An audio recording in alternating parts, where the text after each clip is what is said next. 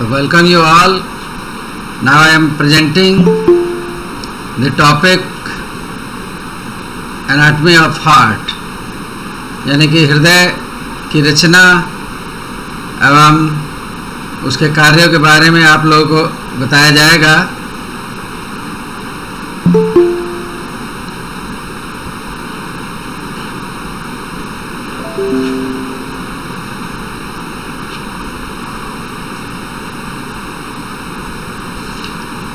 तो हार्ट के बारे में एक चीज़ तो ये समझ लें कि it is approximately the size of the fist मतलब एक मुट्ठी के बराबर इसका साइज़ है location in the middle mediastinum between the second rib to the fifth intercostal space तो सेकेंड रिप से फिफ्थ इंटरकॉस्टल स्पेस तक इसका जो है स्थित होता है और मिडिल मीडियास्टनम में. On the superior surface of the diaphragm यानी कि डायफ्राम से ऊपर है और two thirds to the left of the mid sternal line तो जो मिड स्टर्नल लाइन खींचे, अगर उसको बीचों बीच से बॉडी को दो पार्ट डिवाइड करें तो वो मिड स्टर्नल लाइन से जाती है। तो उसमें लेफ़्ट पार्ट में जो है, इसका ज़्यादा पार्ट है टू थर्ड पार्ट है वन थर्ड पार्ट जो है राइट साइड में है। तो anterior to the vertebral column vertebral column से ये एंटीरियर साइड में है posterior to sternum enclosed in the pericardium a double walled sac तो पेरिकार्डियम से कवर होता है, जिसकी दो लेयर होती हैं, और फिर उसके आगे की बात है कि the heart is a muscular hollow organ made of cardiac muscles. Greek name is the cardia, adjective cardia, क्योंकि जैसे हार्ट के लिए कार्डिया जो है, शब्द यूज़ किया जाता है ग्रीक में तो उसी से बना है कार्डियोलॉजी। और लैटिन नेम कॉर तो कोरोनरी इससे जैसे शब्द बना है। तो लैटिन में उसे कोर कहा गया है।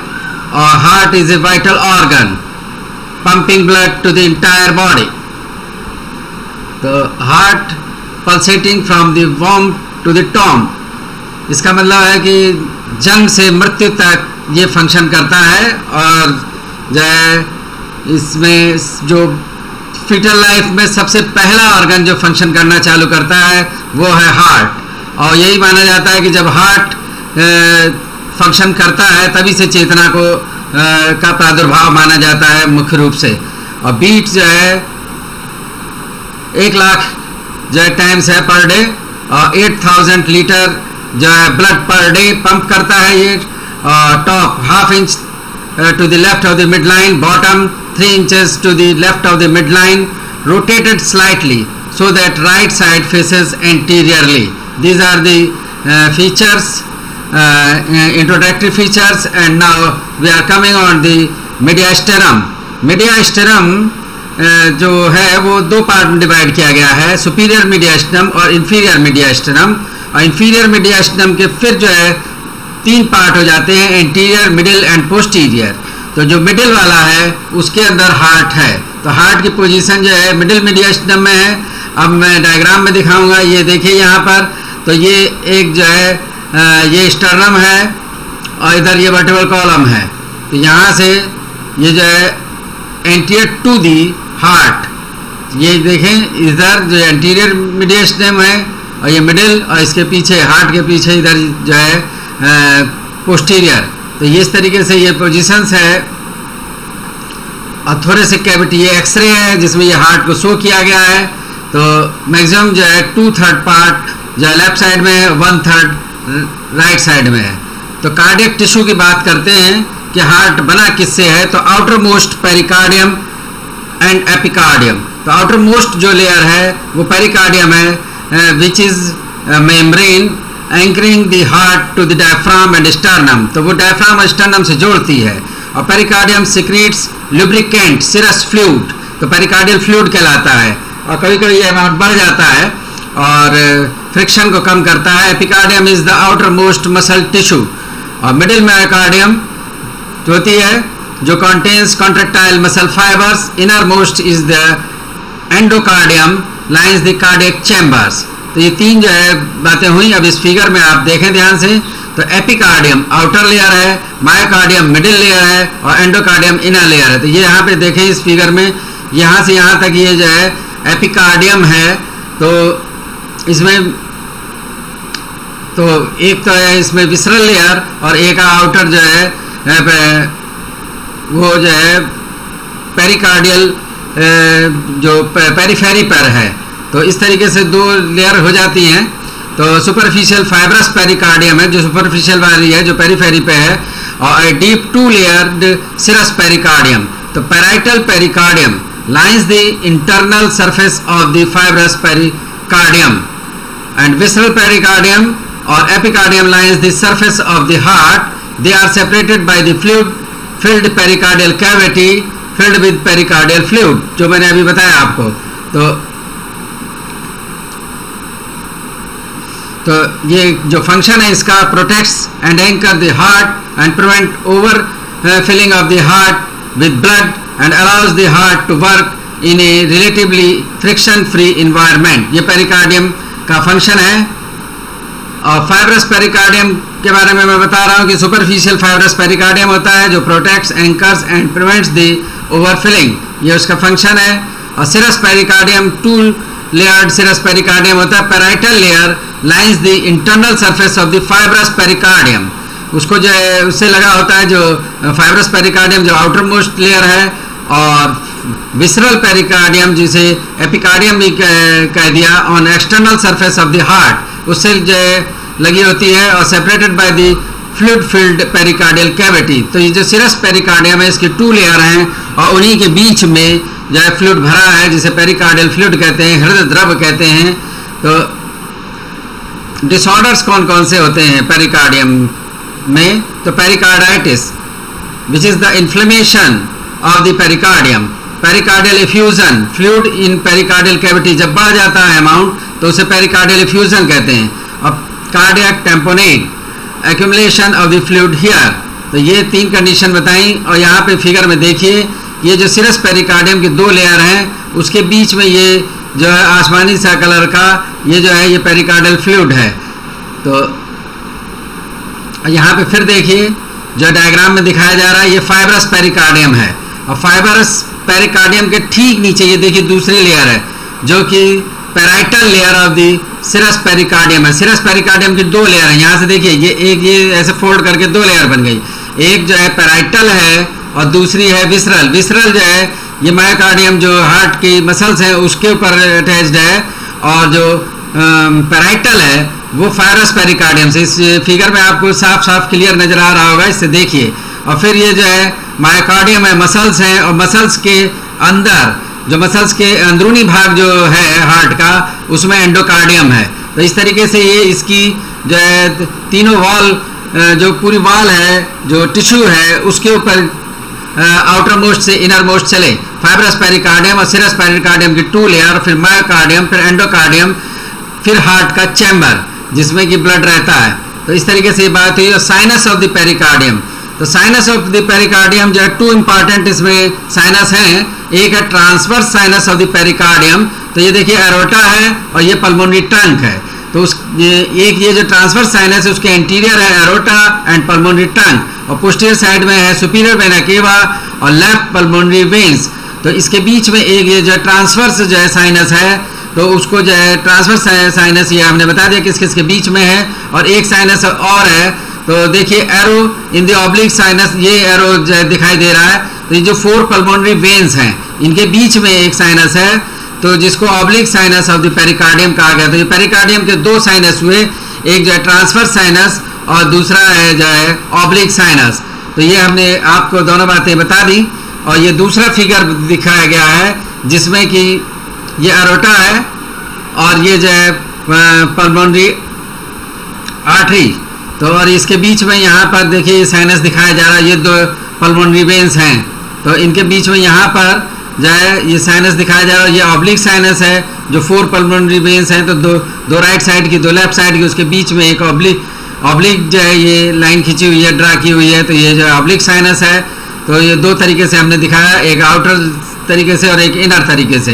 तो ये हमने लेयर्स फिर से डायग्राम में दिखाई हैं कि जो है पेरिकार्डियम कैसे है कि फाइब्रस पेरिकार्डियम है और सिरस पेरिकार्डियम की पेरिकार्डियल लेयर है और जो है ये, जो है फिर ये माइकार्डियम है और इनर मोस्ट जो है एंडोकार्डियम है। तो ये अलग अलग जो है डायग्राम उसके दिखाए गए। अब ये जो है कि सरफेस मार्किंग के ऊपर हम लोग आते हैं, क्योंकि जो हार्ट है कि ये देखा जाता है कि मरीज़ में हार्ट नॉर्मल है, कि साइज़ बड़ा हुआ है हार्ट की क्या प्रॉब्लम है। हार्ट तो उसको हम लोग देखेंगे। तो अभी हम ये देख लेते हैं कि क्या पोजीशन है।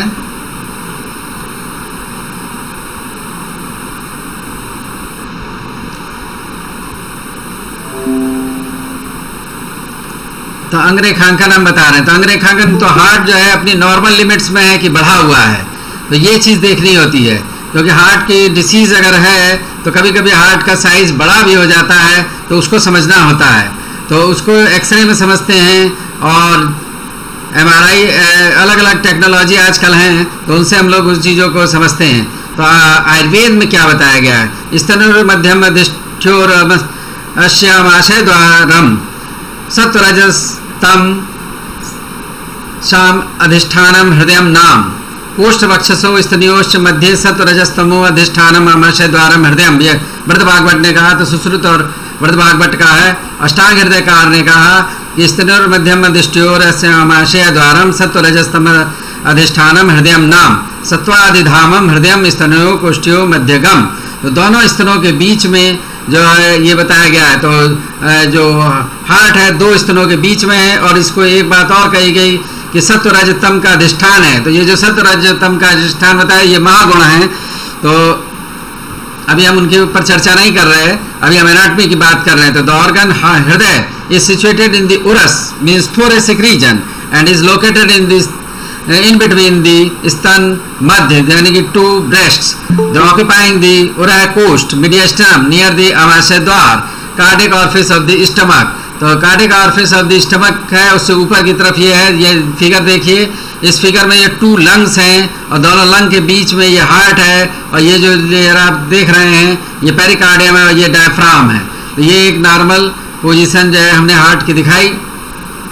और ये जो है थोड़े से केज है, जिसमें बोन भी दिख रही हैं और दोनों लंग्स हैं और बीच में हार्ट है और ये डायफ्राम है। तो अब ये हम सरफेस मार्किंग के ऊपर आते हैं। तो सरफेस मार्किंग में देखिए, पहला पॉइंट है ये ये दूसरा पॉइंट है, ये तीसरा पॉइंट ये चौथा पॉइंट और ये पांचवा पॉइंट तो इस तरीके से ये पॉइंट्स ड्रा किए गए हैं। तो ये ये कौन सी कॉस्टल कार्टलेज है या कौन सी रिब है, इसके ऊपर की बात हम कर रहे हैं। तो यहाँ से देखें, ये जो है स्टर्नम है और ये सेकंड सेकंड रिब है। तो सेकंड रिब का ये जो है लोअर बॉर्डर है। लोअर बॉर्डर पे जो है 1.3 centimetre from the sternal margin ये स्टर्नम का मार्जिन है। तो ये बीचों बीच से नहीं ले रहे स्टर्नम के मार्जिन से ले रहे हैं। तो एक पॉइंट ड्रा किया गया 1.3 centimetre from the sternal margin एक पॉइंट ये ड्रा किया गया। दूसरा है, जो ये थर्ड रिब है, इसके अपर बॉर्डर के ऊपर जो है सेकेंड पॉइंट है। तो पॉइंट एट सेंटीमीटर लिखा है, पुरानी किताबों में one point three centimetre equal था। तो थोड़ा सा ये वेरिएशन मिल रहा है। तो ये जो है पॉइंट एट सेंटीमीटर पे एक जो है पॉइंट ड्रा किया गया जो एक्सटर्नल मार्जिन से। फिर ये जो है मैक्सिमम कॉन्वेक्सिटी किस लेवल पे है? तो फोर्थ के, के यहाँ पर 3.8 सेंटीमीटर जो है ये लिया जा रहा है। तो ये पॉइंट आया और फिर जो है ये जो फोर्थ पॉइंट है तो ये सिक्स वाले जो देखिए ये है सिक्स कॉस्टल कार्टलेज उस पर two centimetre distance external margin से लिया, और जो ये फिफ्थ पॉइंट है तो फिफ्थ पॉइंट के लिए है कि मिड स्टर्नल लाइन खींचते हैं, यानी कि बीचों बीच से एक लाइन खींचते हैं स्टर्नम के, और वहाँ से 3.5 सेंटीमीटर या 9 सेंटीमीटर लेते हैं लेफ़्ट साइड में in the fifth intercostal space fifth intercostal space में लेते हैं तो जस्ट बिलो द निपल होता है तो यहाँ पे फिफ्थ पॉइंट हुआ। अब इन पॉइंट्स को मिला देते हैं। फ़र्स्ट पॉइंट से सेकंड को मिलाया और सेकंड थर्ड और फोर्थ की कॉन्वेक्सिटी के साथ मिलाया और यहाँ से एक स्ट्रेट लाइन लगभग स्ट्रेट होती है। वैसे तो थोड़ी देखिए, हल्की एस के रूप में लंबी खींची हुई सी लग रही है। ये जो है फिफ्थ पॉइंट तक मिलाया और इधर से फिर एक जो है इस तरीके से जो है कर्व्ड लाइन खींची वन टू फाइव तो ये पूरी की पूरी जो है लाइन इस तरीके से आई। तो इसको जो है कहते हैं कि सरफेस मार्किंग और ये इसी के अंदर जो है हार्ट होगा तो ये एक मेन जो है सरफेस मार्किंग के हमने पॉइंट से ड्रा करके समझाया। तो अब हम आगे चलते हैं। तो इसमें जो है दिखाया गया, ये दूसरी बुक से है तो उसमें वो, वही सारे पॉइंट दिखाए गए हैं, जिनको आप समझेंगे। तो उसमें लिखा हुआ है साथ साथ तो उसको अब हम डिटेल दोबारा से रिपीट नहीं कर रहे। जो मैंने समझाया, वही यहाँ पर जो है सरफेस मार्किंग लिखी हुई है, मैंने फिगर में समझा दिया है, और अब हम उसमें एक एक बॉर्डर के ऊपर है, ये जो है तो ये सारी सरफेस मार्किंग यहाँ पे हमने बता दी, यहाँ पे वॉल्व्स की पोजीशन दिखा रहे हैं, और वाल्व के बारे में मैं बताऊँगा अभी कि जो है हार्ट में जो है वाल्व होते हैं तो फोर वाल्व्स होते हैं तो जो पहला वाल्व है पल्मोनरी वाल्व उसकी जो सरफेस मार्किंग का मतलब ये है कि कहाँ पे वो स्थित है, अगर डिसेक्शन करेंगे, तब वो जो है सरफेस मार्किंग उसकी, उस डिसेक्शन में कहाँ मिल रहा है, उसकी सरफेस मार्किंग है। और दूसरा एक कलम है, यहाँ पर लास्ट में ऑस्कल्टेटरी एरिया या ऑस्कल्टेटरी एरिया जहाँ पे स्टेथो रखेंगे और उसकी हार्ट उस वाल्व की साउंड क्लियर सुनाई देती है। तो ये मोस्ट इंपॉर्टेंट क्वेश्चन है वायवा के पॉइंट ऑफ़ व्यू से भी और एग्जामिनेशन के पॉइंट ऑफ़ व्यू से। कि ऑस्कल्टेटरी एरिया क्या है सरफेस मार्किंग क्या है, और ये जो इधर कॉलम है डायमीटर और द ऑर्फिस और ये फ़र्स्ट कॉलम जो है वह है कि वाल्व वाल्व का नाम। तो पहले में वाल्व का नाम है, दूसरे में डायमीटर दिया है, तीसरे में सरफेस मार्किंग और चौथे कालम में ऑस्कल्टेटरी एरिया बताया है। तो हम पहले पे चलते हैं पल्मोनरी वाल्व 2.5 सेंटीमीटर उसका जो है डायमीटर है और फिर का, और horizontal line 2.5 centimetre long behind the upper border of the third left costal cartilage and adjoining part of the sternum ये उसकी पोजीशन लोकेशन बताई गई। और second left intercostal space near the sternum उसकी साउंड सुनाई देती है। तो यहाँ पे डायग्राम में देखें, वो ये है। देखिए, ये तो जो है पल्मोनरी ये जो थर्ड वाले देखिए, यहाँ पे ये जो पल्मोनरी वाल्व है और उसकी साउंड जो है पल्मोनरी एरिया है ये। तो ये हमने फ़र्स्ट वाले का बताया। तो ये हम डायग्राम में उसको समझा जाते चल रहे हैं। तो ये हमने फ़र्स्ट को बता दिया।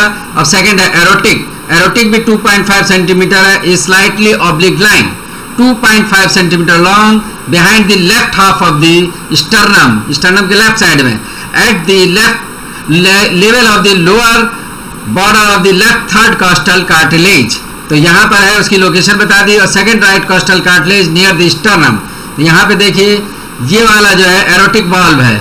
इस वाल्व की बात हो रही है एरोटिक वाल्व है। इसकी साउंड यहाँ पे सुनाई देती है, ये सेकंड रिप यहाँ पे आकर मिलती है। तो उसके जो है नियरर यहाँ पर जो एरोटिक वाल्व की है लोकेशन जहाँ पे ये आस्कल्टेटरी एरिया है। और यहाँ पे ये जो सरफेस मार्किंग है, जहाँ रियली वो लोकेटेड होता है। और अब आते हैं mitral valve three centimetre and oblique line three centimetre long behind the left half of the sternum opposite the left fourth fourth costal cartilage.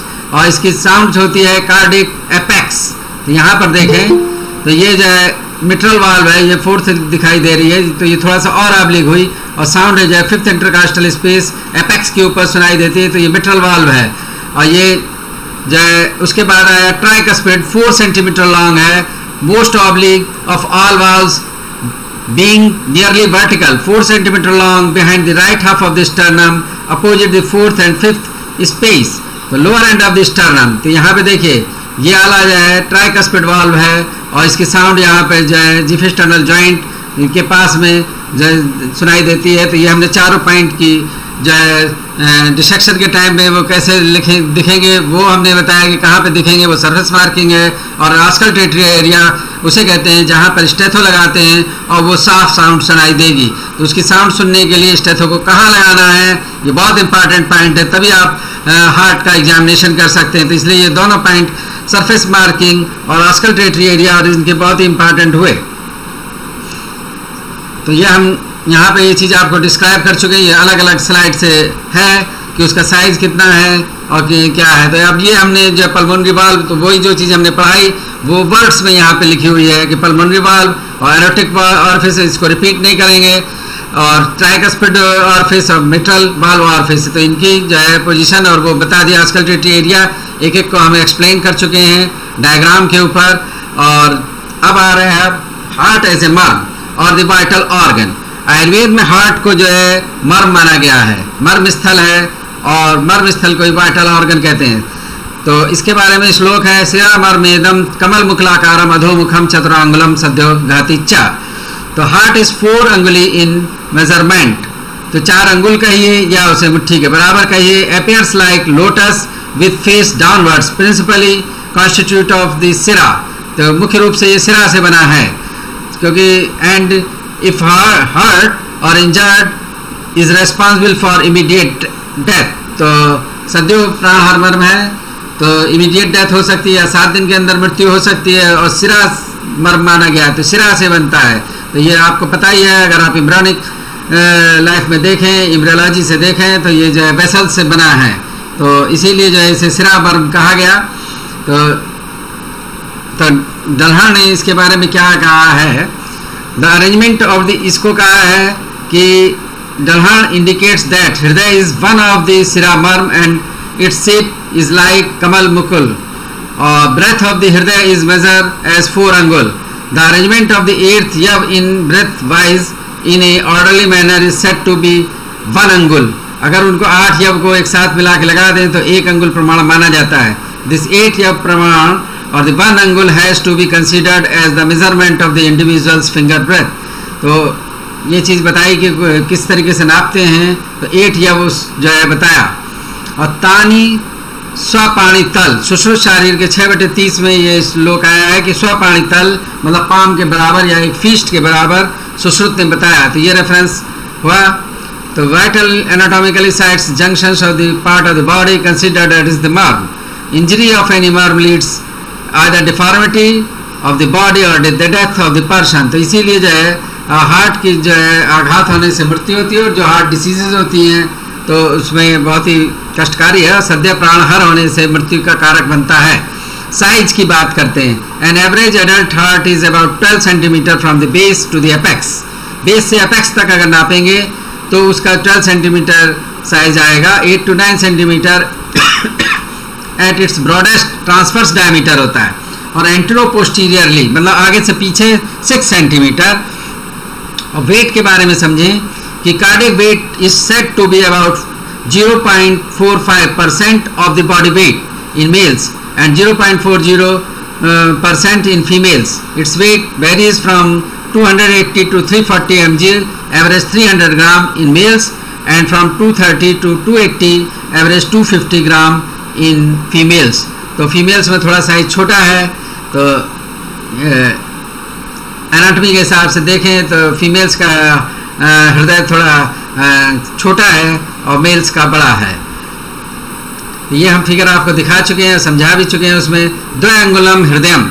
एक ये सारंथर ने बात कही, इसका मतलब ये है कि जो अगर दुबले पतले आदमी में देखें तो उसमें ये चीज़ आपको नज़र आएगी कि जो एपेक्स है हार्ट तो ऊपर उठता पल्सेट होता हुआ दिखता है तो वो जो साइज़ है, वहाँ पे दो अंगुल है, दो अंगुल के परिमाण में वो एपेक्स बीट जो दिखती है, दुबले पतले आदमी में यहाँ फील भी होती है। ये देखिए मिट्रल वाल्व है तो ये जो मिट्रल वाल्व की जो ऑस्कल्ट्रेटरी एरिया है ये तो ऑस्कल्ट्रेटरी एरिया ये जस्ट बिलो द निपल तो उससे जो ये निपल है और इससे नीचे फिफ्थ इंटरकास्टल स्पेस में तो यहाँ पे स्टेथो रखेंगे और यहीं पर जो है फिफ्थ इंटरकास्टल स्पेस में जो है चेस्ट में उठता गिरता आपको फील होगा, अगर दुबला पतला आदमी है तो।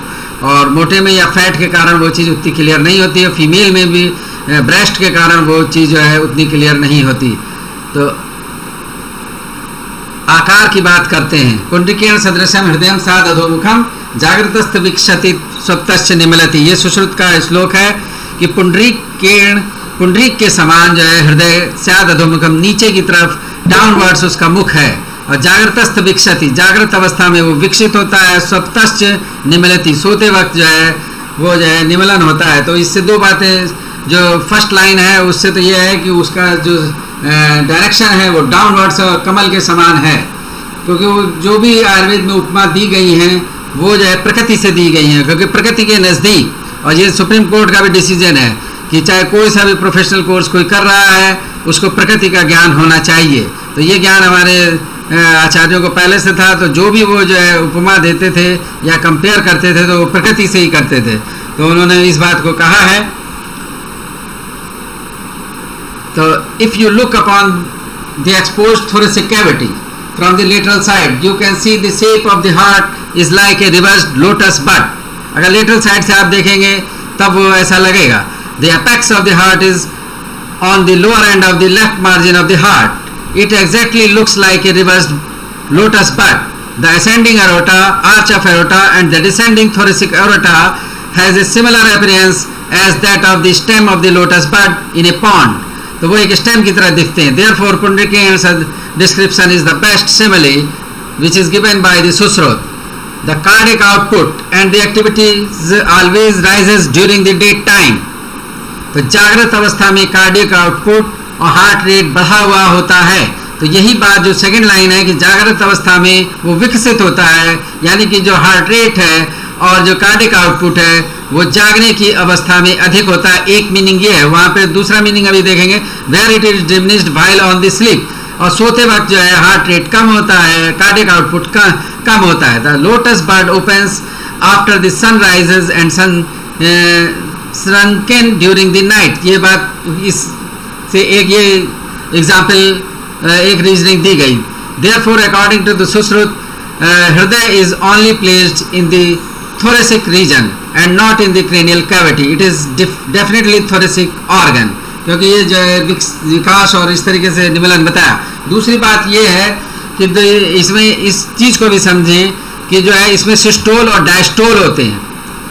तो सिस्टोल जब संकोच होता है और विकास संकोच और विकास हो रहे हैं उसमें विकास का मतलब है कि उसमें जो है जो डायस्टोल हो रहा है तो ब्लड उसमें आ रहा है और जा रहा है। तो ये जो फ़ंक्शन हो रहा है तो उसको कह रहे हैं कि उसको भी जागृत और सप्तस्य से उसकी बात ली गई।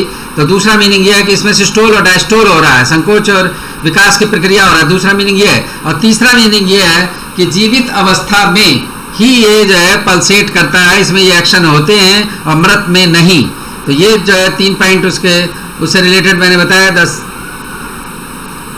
दूसरी इंपॉर्टेंट बात है कि ये जो है कि ये केवल जो है पुंड्रिकेण क्यों कहा गया? क्योंकि जो सफ़ेद कमल होता है, वो उस, उससे इसको कंपेयर किया गया। रक्त कमल से नहीं, क्योंकि फैट ग्लोब्यूल्स जो उसमें होते हैं पेरिकार्डियम में, जो फैट का डिपोजिशन है, वो उससे मिलता हुआ कलर है।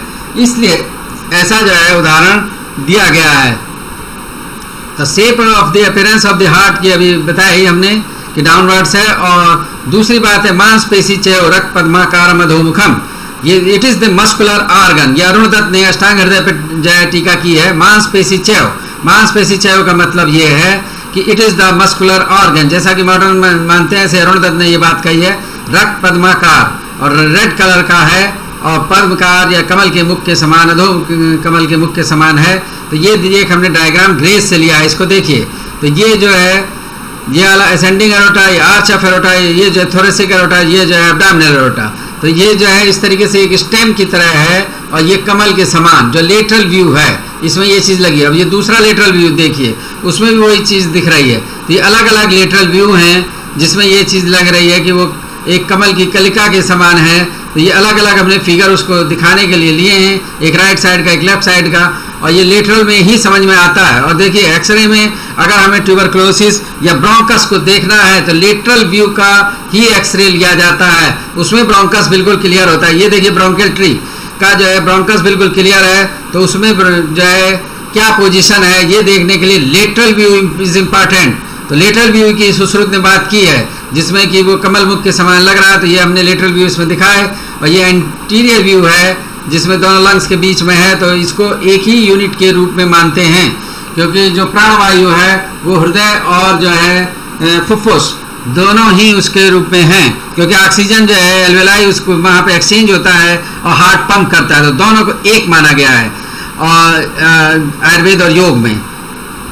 फंक्शनली तो उसी के ऊपर एक डिसीज बनी है कार पल्मोनेल हृदय से पुंड्रिका कारस्य तो इसके बारे में जो बृदराणक उपनिषद का है, ये श्लोक, और मासी पे मांसपेशी चय की मैं बात बता ही चुका हूँ। अब ये हृदय के बारे में जो नेक्स्ट चीज़ आ रही है, ये श्लोक कुछ जो दूसरी में चले गए, कंठ हृदय नेत्र क्लोम नाड़ी मंडला है। तो जो यहाँ पे जो संधि की बात कही है तो क्लोम तो नेत्र क्लोम नाड़ी मंडल इन जगह पर मंडल संधि होती है। तो ये बात बताई। अब हमारे एक्सटर्नल फीचर्स पर external features of the heart तो उसमें जो है एक्सटर्नल फीचर्स है, एक तो एपेक्स इसमें होती है, और बेस होता है, और जो है सरफेसेस हैं थ्री इंटीरियर जिसको स्टर्नोकोस्टल सर्फेस भी कहते हैं, दूसरी है इंफीरियर और तीसरी है लेफ़्ट लेटल और बॉर्डर्स है फोर सुपीरियर और the upper border inferior border और राइट एंड लेफ़्ट बॉर्डर्स तो इनकी बात हुई एपेक्स की बात है कि जो हम पहले से आपको बता चुके हैं 3.5 centimetre in the fifth intercostal space left side में जो है ये होती है तो यहाँ पे ये एपेक्स की पोजीशन है। तो इस डायग्राम सहित हमने दिखा दिया, ये एपेक्स है यहाँ पे, यहीं पे स्टेथो रखेंगे, तब साउंड सुनाई देगी। तो ये बेस के बारे में बता रहे हैं तो बेस जो है देखिए बेस जो है दो तरीके से माना जाता है। एक तो बेस यहाँ ऊपर से मानते हैं और जो एनाटॉमिकली है तो ये पोस्टियर साइड जो है जो हार्ट की है, जिसमें लेफ़्ट एट्रियम इसका मेन पार्ट है। मेन पार्ट है लेफ़्ट एट्रियम और बाकी ये जो चीज़ देख रही हैं आप, देखिए, ये राइट एट्रियम है लेफ़्ट वेंट्रिकल है तो ये जो मेन इस जो बेस बना रहा है, वो है लेफ़्ट एट्रियम तो ये डायग्राम है, ये इंद्रवीर सिंह का है। तो हमने अलग अलग बुक से जो है रेफरेंसेस लिए हैं। ये जो है नेटर का है। तो हम समझाने के लिए जो आमाशय मुख द्वार कहा गया तो देखिए ये है आमाशय। और इसका जो मुख यहाँ पर है, और इससे ऊपर डायफ्राम है, और डायफ्राम से ऊपर हार्ट है। तो ये जो है क्लिनिकल एनाटॉमी के पॉइंट ऑफ़ व्यू से बताया गया है कि आमाशय में कितना खाना खाना है। ये हार्ट की पोजीशन के ऊपर डिपेंड करता है। अगर हार्ट का मरीज़ होता है तो उसे रात को कम खाना खाना चाहिए।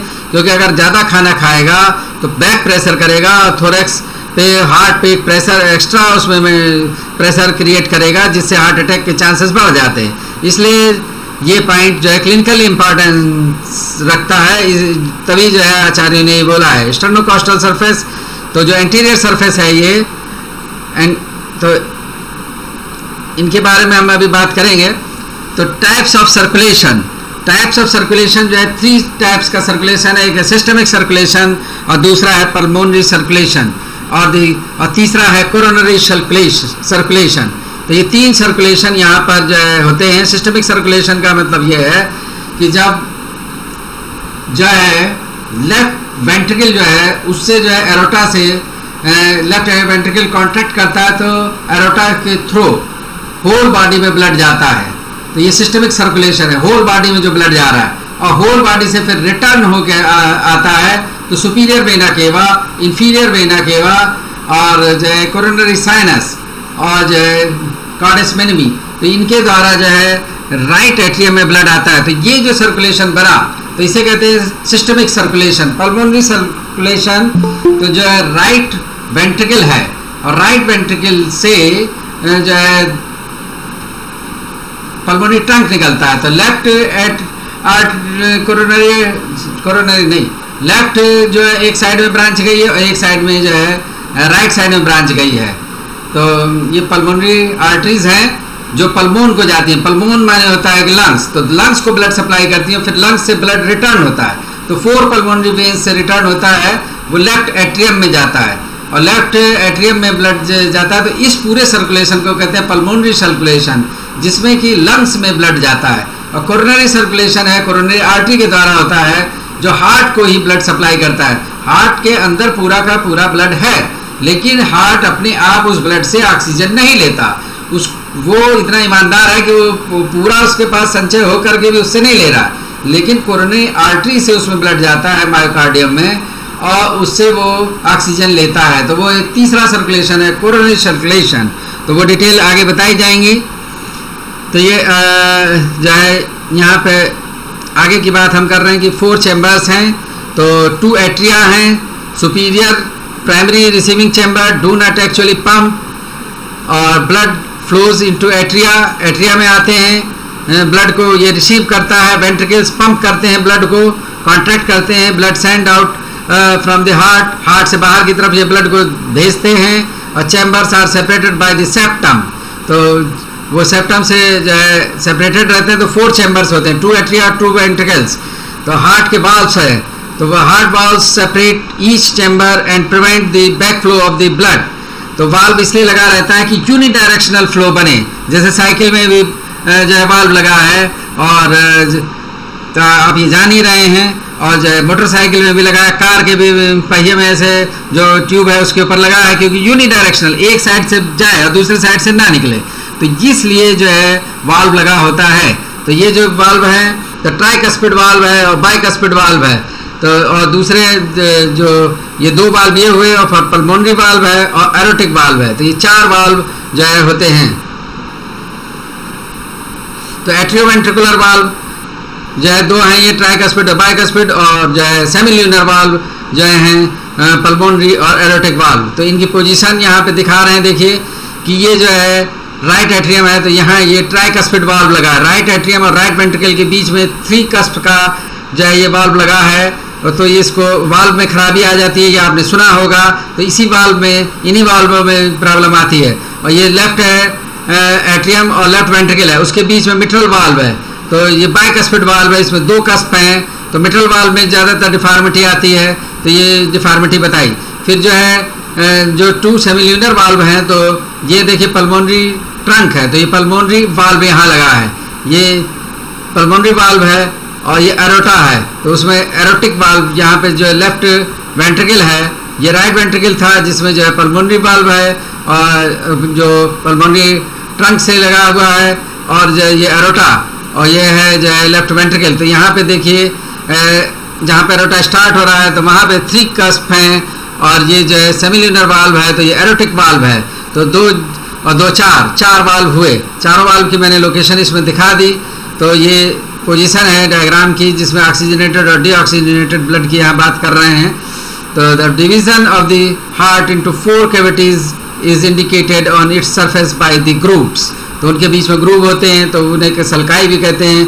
तो एक है एंटीरियो वेंट्रिकुलर ग्रुप और इंटरवेंट्रिकुलर ग्रुप और इंटर एट्रियल ग्रुप ये तीन ग्रुप हैं एट्रियो वेंट्रिकुलर ग्रुप एट्रिया और वेंट्रिकल के बीच में।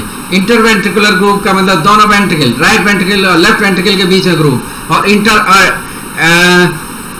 एट्रियल दोनों इनके बीच में, दोनों एट्रिया के बीच में। तो देखिए यहाँ पे है। तो ये जो है राइट जो है एट्रियम है और जो है ये राइट वेंट्रिकल है, इसके बीच में एक ग्रुप है ये। तो ये जो है एट्रियोवेंट्रिकुलर ग्रुप हुआ, ये राइट साइड का। और ये देखिए ये जो है राइट वेंट्रिकल और ये लेफ़्ट वेंट्रिकल इसके बीच में यहाँ पे ग्रुप है तो इंटरवेंट्रिकुलर ग्रुप हुआ। तो इस तरीके से ये हमने इंटीरियर व्यू आपको दिखाया। और अब हम आपको तो कोरोनरी सल्कस की बात कर रहे हैं। कोरोनरी सल्कस जहाँ पे हार्ट से रिलेटेड ब्लड आता है, जो वेन्स हैं वो वहाँ ड्रेन करती हैं। तो अभी डायग्राम में दिखेगा, आगे चल के अभी यहाँ नहीं दिख रहा। एट्रियोवेंट्रिकुलर और द कोरोनरी सल्कस तो ये जो इसके पार्ट्स हैं इंटीरियर एट्रियोवेंट्रिकुलर राइट हाफ़ और लेफ़्ट हाफ़ पोस्टीरियर एट्रियोवेंट्रिकुलर ये जो है, उसके पार्ट्स हुए, ये डायग्राम में दिखाए गए हैं। और ये जो है, ये भी डायग्राम इंद्रवीर सिंह का है तो इस तरीके से सेप्टम शो किए गए हैं कि वो सेप्टम इंटर एट्रियल सेप्टा है ये। ये वाला जो आप ये देख रहे हैं, ये इंटर एट्रियल सेप्टा है, दो एट्रिया के बीच में सेप्टा ये वाला बन रहा है, और ये वाला जो हाफ़ इधर देख रहे हैं तो इंटर वेंट्रिकुलर सेप्टा है। और ये वाला एट्रियो वेंट्रिकुलर सेप्टा है, यहाँ से देखिए तो ये राइट एट्रियम और लेफ़्ट वेंट्रिकल है, और इधर जो है लेफ़्ट साइड है तो लेफ़्ट एट्रियम और लेफ़्ट वेंट्रिकल के बीच में ये सेप्टा है। तो ये जो है, इस तरीके से दो से जो है सर्किल से लगे हुए हैं, और वो भी चार पार्ट में डिवाइड हो जाते हैं तो चार ये सेप्टा के नाम आ जाते हैं। और यहाँ पे देखें, ये है कोरोनरी साइनस तो यहाँ पे जो कोरोनरी साइनस ये है तो ये कोरोनरी साइनस जो है राइट एट्रियम में ओपन होता है ब्लड तो वेंस इसमें ड्रेन करती हैं, जो हार्ट की वेंस हैं, वो इसमें जो ब्लड को लाती हैं तो कोरोनरी साइनस है ये। तो इंटरवेंट्रिकुलर ग्रुप अब इसकी ज़्यादा डिटेल नहीं चलेंगे, क्योंकि धीरे धीरे टाइम बढ़ रहा है लेक्चर बड़ा है। तो इंटरवेंट्रिकुलर ग्रुप और सल्कस की बात किया तो उसके भी दो पार्ट हैं interior interventricular and posterior interventricular interatrial groove के भी दो पार्ट हो गए इंटीरियर इंटरवेंट्रिकुलर ग्रुप और पोस्टीरियर इंटरवेंट्रिकुलर ग्रुप तो इन crux of the heart is the meeting point of the interatrial atrioventricular, and the posterior interventricular groups. ये viva में कभी कभी हम पूछते हैं और 99 परसेंट बच्चे इस क्वेश्चन का आंसर नहीं दे पाते हैं। What is the crux of the heart क्योंकि लेटेस्ट बुक में ये एक्सप्लेन है चीज़। तो इसका क्वेश्चन का आंसर यहाँ पे है। लोग नोट कर लें क्योंकि हम उस चीज़ को बताते रहते हैं। तो यहाँ पे जो है ये दिखाया गया है।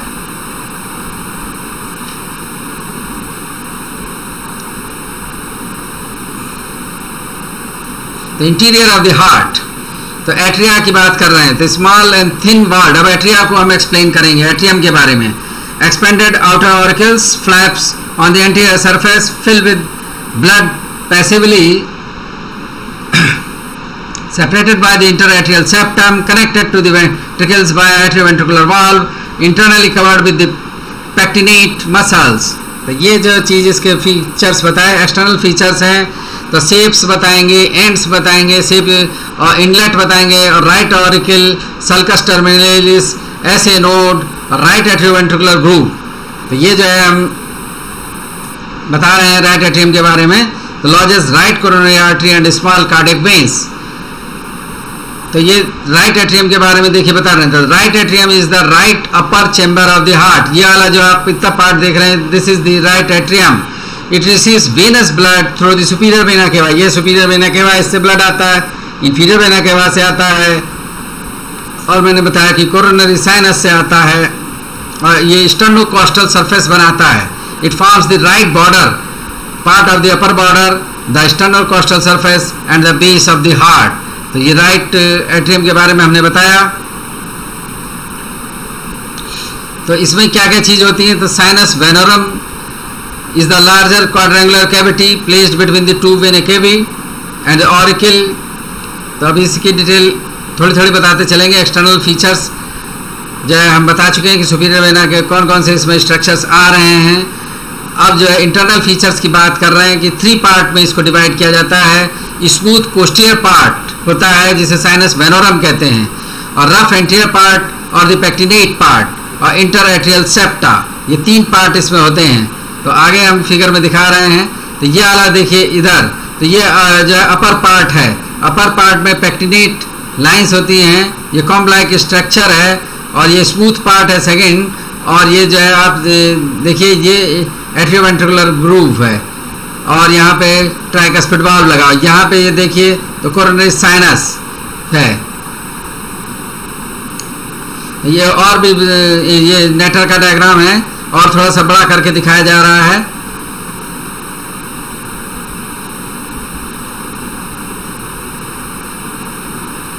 तो देखिए यहाँ से एक जो है आ, कट लगाया गया है और इस फ्लैप को उठा के इधर डाल दिया गया है। तो ये आप देखें यहाँ पे ये चीज़ जो है ये क्रिस्टा टर्मिनलिस है और ये कॉम लाइक ये जो पेक्टिनेट मसल्स हैं तो जो कॉम लाइक अपेरेंस दे रही हैं तो ये रफ पार्ट हुआ और ये वाला जो है स्मूथ पार्ट है। तो ये जो है इंटर एट्रियल सेप्टा है।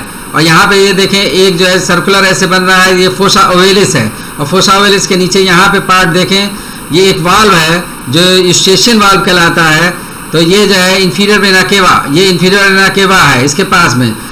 तो इसके ऊपर स्टेशन वाल्व लगा हुआ है। और यहाँ पे देखिए, ये कोरोनरी साइनस है। ये वाला जो ऑर्फिस है this is the coronary sinus और कोरोनरी साइनस के ऊपर जो वाल्व है उस वाल्व का नाम है थिबेसियन वाल्व इनके नाम याद कर लीजिए। और ये देखिए ये जो एक ऑर्फिस दिख रहा है ये एट्रियोवेंट्रिकुलर ग्रूव है। Right atrioventricular orifice right atrioventricular orifice है तो इसमें थ्री कस्प लगे हैं।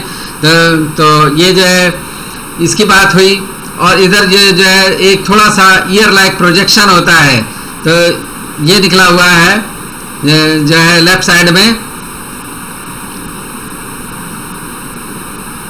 तो राइट ऑरिकल इसे बोलते हैं। तो smooth posterior part sinus venarum developmentally right horn of the sinus venosus से बना है। Opening of the superior vena के बाद खुल रही है। थर्ड कॉस्टल कार्टलेज और हैज़ नो वाल्व उसके ऊपर कोई वाल्व नहीं है। और inferior vena cava opposite to the right six costal cartilage has a rudimentary valve Eustachian valve coronary sinus, between the opening of the inferior vena cava and tricuspid orifice has a functioning valve Thibesian valve which prevents the return of the blood into the coronary sinus during atrial contraction और वेनिकॉर्डिम्स मिनवी जो मैंने पहले भी बताया था कि foramina venarum है तो ये जो फोर या के लगभग होती हैं तो उनसे वो ब्लड आता है और इंट्रावेनस ट्यूबरकल ऑफ़ लोअर यहाँ पर है तो इतनी चीज़ें जो है यहाँ पे इंटर दिख रही हैं जिनको मैं डायग्राम में आपको दिखा भी चुका हूँ और vessels related to the right atrium है superior vena cava inferior vena cava coronary sinus anterior cardiac veins venae cordis minimae Thebesian well ये वेन कहलाती हैं, और sometimes the right marginal vein भी ओपन होती है तो ये एमडी के स्तर का क्वेश्चन हुआ जब ये छह नाम गिनाने होंगे। अगर एमडी वाला छह नाम नहीं गिना पा रहा, तीन ही चार गिना रहा है तो इट मीन्स वो पढ़ा नहीं रहा है। तो intra intervenous tubercle of Lower ये यहाँ पे स्थित है, उसकी अभी हम लोग ज़्यादा बात नहीं करेंगे, क्योंकि अब टाइम जो है तेज़ी से बढ़ रहा है। और rough anterior part of pectinate part है डेवलपमेंटली प्रिमिटिव एट्रियल चैम्बर है। वहाँ पे क्रिस्टा टर्मिनेलिस है, और मस्कुलर पैक्टिनिटी जो मैंने अभी फिगर में दिखाया था। यहाँ पे ये देखिए क्रिस्टा टर्मिनेलिस है, ये मस्कुलर पैक्टिनिटी हैं। तो ये राइट ये दूसरी किताब है, जिसका डायग्राम है। ग्रांट की बुक का है ये। और interatrial septum a developmentally primitive atrial chamber और फोसावेलिस वहाँ पर है, जिस जो डेवलपमेंटली सेप्टम प्राइमम से बना है, एनुलस ओवेलिस और द लिम्बस, लैटिन मीन्स में उसका मतलब होता है border. Developmentally lower free margin of the septum secundum का पार्ट होता है, एनुलस ओवेलिस। और फोसा ओवेलिस में बता ही चुका हूँ, फोरामेन ओवेल में परसिस्ट। ये जो फोरामेन ओवेल है तो यही जो है दिल का छेद कहलाता है। तो वैसे तो ये जो है बंद हो जाता है। और लेकिन अगर वो बंद नहीं हुआ है और डिलीवरी हो चुकी है, उसके बाद भी ओपन है तो थोड़ा भी बच्चा मेहनत करता है, खेलता है और दौड़ता है तो उसके और ब्लेस हो जाते हैं और ऑक्सीजन की कमी होती है तो उससे ये पहचाना जाता है कि हार्ट की कोई प्रॉब्लम है तो वो कार्डियोलॉजिस्ट को दिखाया जाता है तो दिल में कभी कभी छेद होता है, और दूसरी भी अबनॉर्मलिटीज़ होती हैं जो आगे के क्लास में आपको बताई जाएँगी। तो ये फोरामेन ओवेल होता है कि वो जो है कभी कभी खुला भी रह सकता है। और राइट वेंट्रिकल पे अब हम लोग आ गए हैं। तो right ventricle is a triangular chamber which receives blood from the right atrium and pumps it to the lungs through the pulmonary trunk तो राइट वेंट्रिकल की पोजीशन है in front left side of the right atrium forms the inferior border two third of the sternocostal surface one third of the diaphragmatic surface. तो इतना ये part ये बना रही है राइट वेंट्रिकल एक्सटर्नल फीचर्स हैं it has two surfaces anterior sternocostal है और एक जो है इंफीरियर है, जो डायफ्राम से रिलेटेड है. और राइट वेंट्रिकल में हैज़ टू पार्ट्स एक है इनफ्लोइंग पार्ट जिसमें मस्कुलर रिजेज होती हैं ट्रेबलिक कॉर्नी होती हैं तो जिसमें कि ब्लड आता है। और एक है आउटफ्लोइंग पार्ट आउटफ्लोइंग पार्ट से ब्लड बाहर की तरफ़ जाता है, यानी एरोटा के साइड पे जाता है तो वो स्मूथ पार्ट होता है। तो रफ एंड स्मूथ पार्ट इसके दो पार्ट होते हैं, और वेंट्रिकल्स को अगर हम कंपेयर करें तो लेफ़्ट वेंट्रिकल की वॉल जो है, ये जो है थिक होती है in compare to the right तो ये राइट वेंट्रिकल की वॉल है, दिखाई दे रही है, और ये लेफ़्ट वेंट्रिकल की। तो right ventricle wall is thinner left ventricle develops four to six times more pressure than left ventricle. And uh, uh, right ventricle is pouch shaped left ventricle is rounded.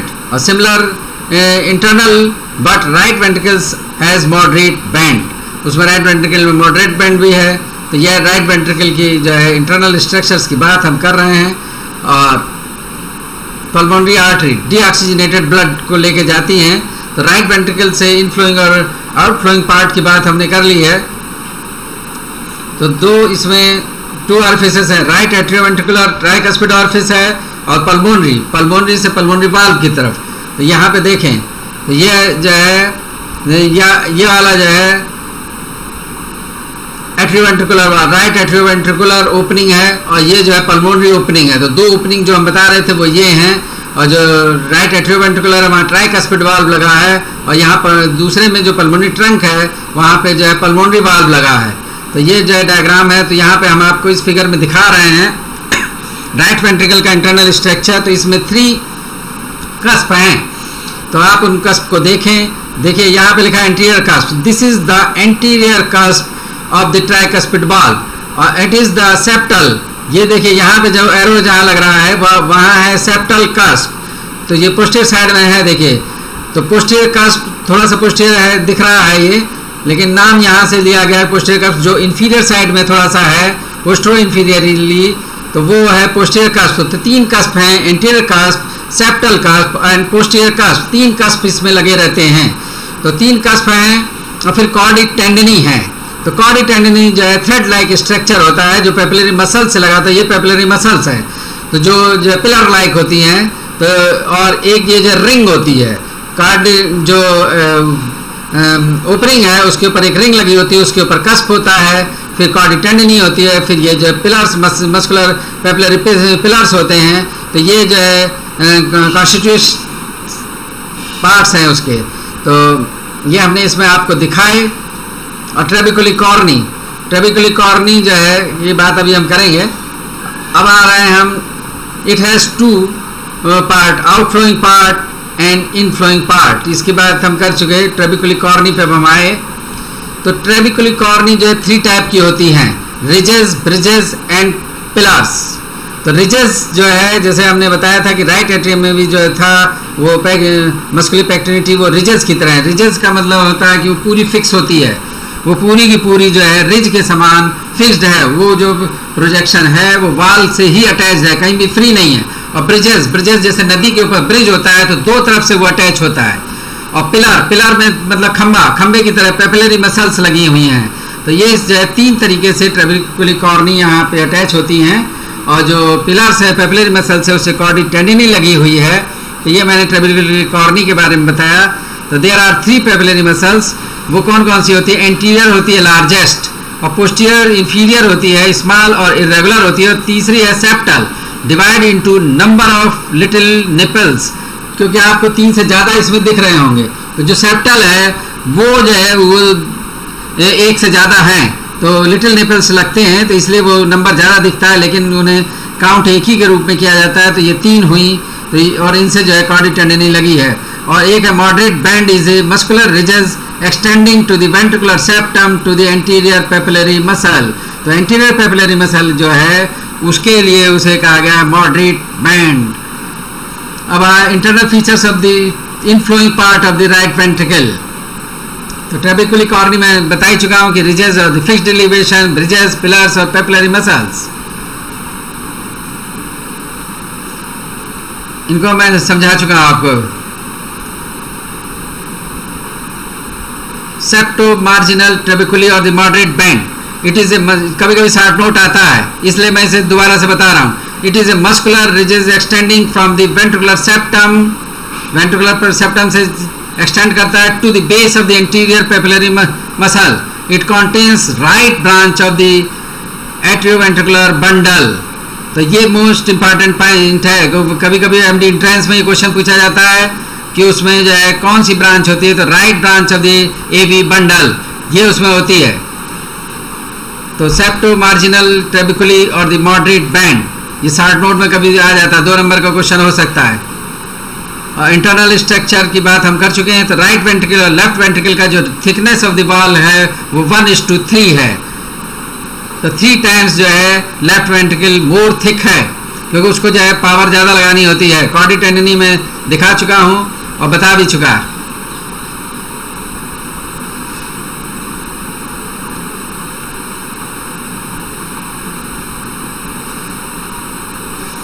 हम left atrium की बात करते हैं। Left atrium is the quadrangular in shape forms two third of the base तो ये पीछे की तरफ़ है तो इसलिए बेस बनाता है। ये मैं पहले भी फिगर में दिखा चुका था। Greater part of the upper border बना रहा है। Parts of the sternocostal and left surface and the left border part of सर्कुले circulation तो ब्लड का सर्कुलेशन तो वहाँ से हो ही रहा है, ये बात ठीक ही है। फोर पल्मोनरी वेन्स जो है जो ऑक्सीजनेटेड ब्लड जो है कैरी कर रही हैं transporting oxygen rich blood lungs से जो है, वो ब्लड को ला रही हैं और लेफ़्ट एट्रियम में ला रही फोर होती हैं, वो उससे अटैच होती हैं। तो फोर पल्मोनरी वेन्स उससे अटैच हैं। फिर आए, हम जो है लेफ़्ट एट्रियम की बात अभी कर रहे हैं। फिगर पे हम करेंगे फिगर कोई मिल जाए हमें। अब आ रहे हैं हम लोग लेफ़्ट वेंट्रिकल में। फिगर हम उसका देखना चाह रहे हैं कि कहीं मिले। यहाँ पे देखिए ये है। लेफ़्ट एट्रियम का ये फिगर है। ये आला इधर का जो है, इसको छोड़िए। तो ये वाला जो है स्मूथ सरफेस है, देखिए। टू पल्मोनरी वेन्स इधर की दिख रही हैं और इधर कट ऐसा कि लगाया गया कि टू इस साइड की जो है, नहीं दिख रही। फोर पल्मोनरी वेन्स होती है, एक सुपीरियर एक इन्फीरियर और उनका कहते हैं right superior pulmonary vein right inferior pulmonary vein और left superior pulmonary vein left inferior pulmonary vein ऐसे करके चार नाम हैं। फोर पल्मोनरी वेन्स इसमें ब्लड लाती हैं, और उसके बाद ये जो है यहाँ से जो ये ओपनिंग आपको दिख रही है तो ये राइट ये लेफ़्ट एट्रियम है तो लेफ़्ट एट्रियम से लेफ़्ट वेंट्रिकल में ब्लड जाएगा। यहाँ से लेफ़्ट वेंट्रिकल में ब्लड गया, और लेफ़्ट वेंट्रिकल पंप करेगा तो एरोटा के थ्रू होल बॉडी में जाएगा। तो ये जो बाइकस्पिड वाल्व है, यहाँ पे दो वाल्व होते हैं तो ये चीज़ मैंने बताई। तो लेफ़्ट एट्रियम के बारे में बता दिया। और लेफ़्ट एट्रियम के बाद आते हैं हम लोग लेफ़्ट वेंट्रिकल तो लेफ़्ट वेंट्रिकल के में जो बात है तो द लोअर रफ पार्ट जो इसका होता है, वो ट्रेबिकुली कॉर्नी से बना है। ये देखिए, यहाँ ट्रेबिकुली कॉर्नी है। तो उसी तरीके से स्ट्रक्चर है। यहाँ दो कस्प हैं और राइट वेंट्रिकल में जो है थ्री कस्प थे, यहाँ टू कस्प हैं। तो the lower smooth part with origin of the ascending aorta जो ये असेंडिंग एरोटा यहाँ से अटैच है।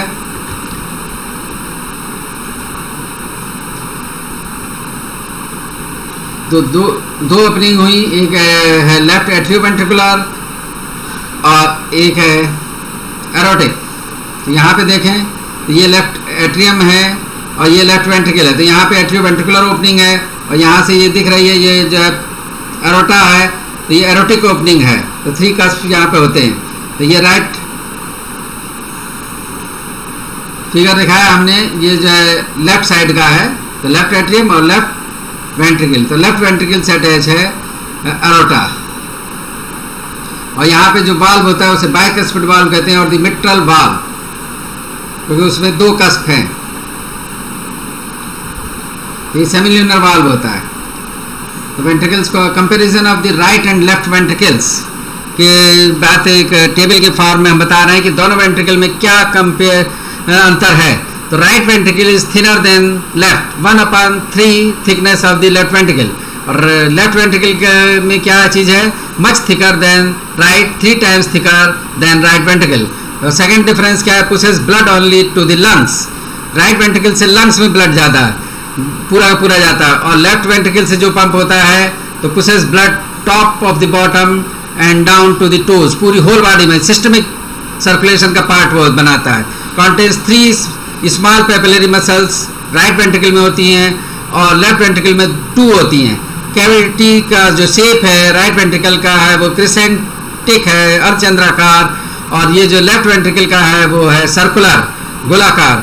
और contains deoxygenated blood right ventricle में डीऑक्सीजनेटेड ब्लड होता है और लेफ़्ट वेंट्रिकल में जो है ऑक्सीजनेटेड ब्लड होता है। राइट वेंट्रिकल क्या फॉर्म करता है? Two third of the sternocostal and one third of the diaphragmatic surface और लेफ़्ट वेंट्रिकल फॉर्म करता है one third sternocostal surface and two third of the diaphragmatic surface तो अगर बाय बार में ये क्वेश्चन पूछा जा रहा है कि राइट एंड लेफ़्ट वेंट्रिकल में डिफरेंस बताएँ तो ये six difference one by one count करके बताने होंगे, इसे याद करना होगा। तो और उसके बाद ये कंडक्टिव सिस्टम पे आ रहे हैं हम लोग। तो कंडक्टिव सिस्टम में है sinoatrial node SA node it in the posterior wall of the right atrium में सिचुएटेड होता है SA node contain pacemaker cells connected to the A V bundle by internodal pathways beginning the atrial activation तो ऐसे node बहुत important चीज़ है containing cells inter connected SA and A V nodes distribute stimulus through myocardium in the atrium card inter nodal pathways in ventricle AV bundle and bundle branches. तो AV node के बारे में अभी हम बता ही चुके हैं आपको फिर AV bundle of his से कभी कभी शॉर्ट नोट में पूछा जाता है तो only electrical connection between A and V travels in the carries impulse to the left and right bundle branches which conduct to Purkinje fibers को की तरफ़ ले जाता है at 175 uh, millisecond uh, and to the moderate band which conduct to the papillary muscles. तो Purkinje fibres क्या चीज़ है? डिस्ट्रीब्यूट इम्पल्सेस थ्रू वेंट्रिकल्स ये स्टेप फिफ्थ है to contractile cells trigger ventricular contraction to begin 225 milliseconds and after atrial contraction is completed तो ये क्रिया वाले फिजियोलॉजी वाले डिटेल में आपको बताएँगे यहाँ हम शॉर्ट में ये बात आपको बताएँ। हरनाड़िक निबद्धस्तु पुष्प्रोचित बुधे हृदय दक्षिण भागे अधो विज्ञम क्लोम रक्त जाय रक्तजम तो ब्लड सर्कुलेशन की बात जो अभी मैं बता रहा था तो वो है भेल संहिता में ये बात बताई गई हृदय रसो निस्सरती।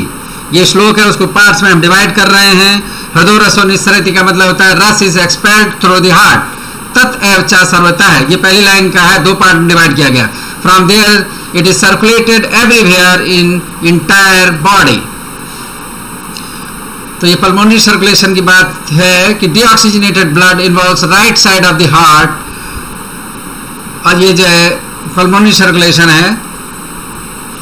तो ये पल्मोन्स को ये जो राइट वेंट्रिकल है, इससे यहाँ पे देखें, ये पल्मोनरी आर्टरी है तो एक जो है लेफ़्ट ब्रांच गई और एक ये राइट ब्रांच गई, दोनों दोनों लंग्स में गई तो वो जो है, और फिर लंग्स से फोर पल्मोनरी वेन से एट्रियम में आई तो ये पल्मोनरी सर्कुलेशन कहलाता है। शॉर्ट में मैंने बताया, और systemic circulation oxygenated blood involves the left side of the heart तो जो एरोटा से होल बॉडी में ब्लड जाता है, फिर वहाँ से रिटर्न होता है। तो पाथवे क्या है? Left pulmonary vein left atrium bicuspid valve left एट्री ventricle aortic semilunar valve and aorta all other tissues तो मेन तो ये है कि अरोटा से जो है होल बॉडी में जा रहा है।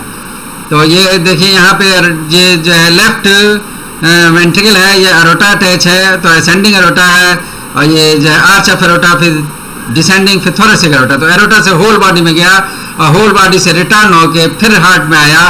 तो ये सिस्टमिक सर्कुलेशन है। तो ये दोनों सर्कुलेशन देखिए यहाँ पे दिखाए।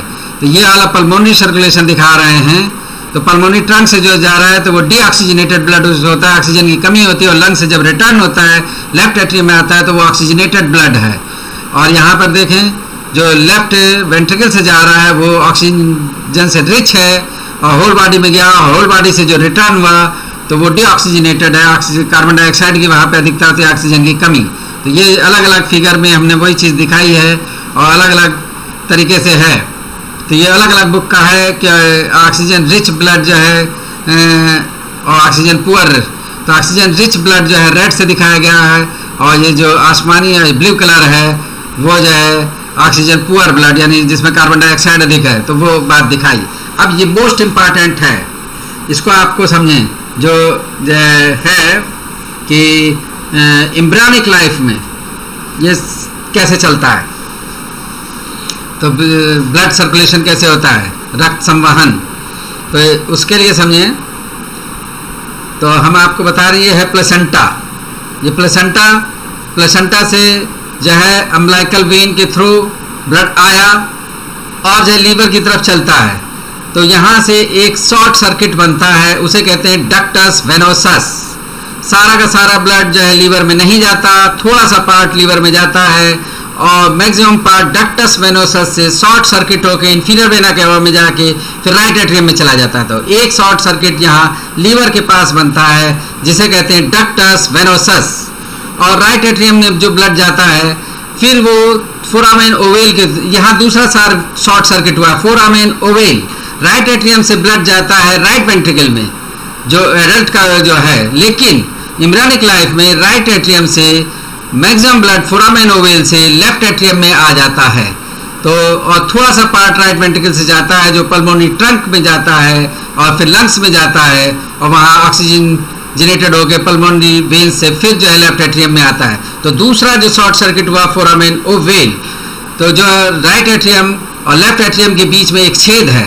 जिसे हृदय क्षेत्र भी कहते हैं, जो दिल का छेद है तो वो जो है लाइफ में गर्भावस्था में खुला रहता है तो ये दूसरा शॉर्ट सर्किट है, दूसरी इंपॉर्टेंट पॉइंट है। और तीसरा इंपॉर्टेंट पॉइंट है पल्मोनरी ट्रंक से, जो है ब्लड जाना चाहिए लंग्स में, लेकिन मैक्सिमम ब्लड जो है चला जाता है डक्टस आर्ट्रियोसिस से एरोटा में। वो सारा का सारा ब्लड लंग्स में नहीं जाता, क्योंकि लंग्स का वहाँ पे न्यूट्रिशन करने के लिए ब्लड जा रहा होता है, वहाँ पे ऑक्सीजनेटेड होने के लिए नहीं जाता, क्योंकि लंग्स जो है इमरानिक लाइफ में फ़ंक्शन नहीं करते। सबसे पहला फ़ंक्शन चालू होता है डिलीवरी के बाद, जब बच्चा क्राई करता है। और वो पहली सांस जो है डिलीवरी के बाद जो है, कोई भी आदमी पहली सांस लेता है डिलीवरी के बाद, पहली सांस उसकी गर्भावस्था में नहीं होती। तो केवल लंग्स के न्यूट्रिशन के लिए ब्लड जा रहा होता है तो उसे थोड़े ब्लड की ज़रूरत है, इसलिए थोड़ा ब्लड जाता है, और मैक्सिमम ब्लड डक्टस आर्टियोसस से एरोटा में आता है। तो तीसरा शॉर्ट सर्किट बनता है डक्टस आर्टियोसस पे। तो एरोटा से फिर जो है सिस्टमिक सर्कुलेशन में चला जाता है, और ये सिस्टमिक सर्कुलेशन से इन्फीरियर वेना के हवा में, और ये एक जो अम्बलाइकल आर्टरी है तो यहाँ देखिए अम्लाइकल आर्टरी से फिर प्लेसेंटा में। तो इस तरीके से ये scheme of the foetal circulation इस डायग्राम में शो की गई है। तो ये एक जो है लाइन डायग्राम या है, ये जो है टोराटोरा बुक है फिजियोलॉजी एनाटमी की मैंने वहाँ से लिया है। और ये देखिए नेटर का डायग्राम है। तो नेटर में ये चीज़ दिखाई गई है। ये है प्लेसेंटा जो अम्लाइकल वेन और आर्टरी यहाँ पे दिख रही है। तो ये अम्लाइकल वेन यहाँ पे गई। देखिए ये लीवर है। तो लीवर में यहाँ पर लीवर में सारा ब्लड नहीं गया। ये इंफीरियर वेना केवा में चला गया और ये जो है डक्टस वेनोसस ये जो पार्ट हुआ वो डक्टस वेनोसस यहाँ पे देखिए लिखा है डक्टस वेनोसस और दूसरा ये छेद की बात जो हम कर रहे हैं हृदय छिद्र की तो राइट एट्रियम और राइट वेंट्रिकल के बीच में जो ओपनिंग है ये है फोरामेन ओवेल देखिए यहाँ पे जहाँ पे एरो चल रहा है। और तीसरी जो बात हमने की थी कि जो है वो आ, जो पल्मोनी ट्रंक है, उससे एरोटा में ये गया। यहाँ पे देखिए, ये एक जो है थोड़ा सा एक टुकड़ा लगा हुआ है, उसे कहा गया डक्टस आर्ट्रियोसिस।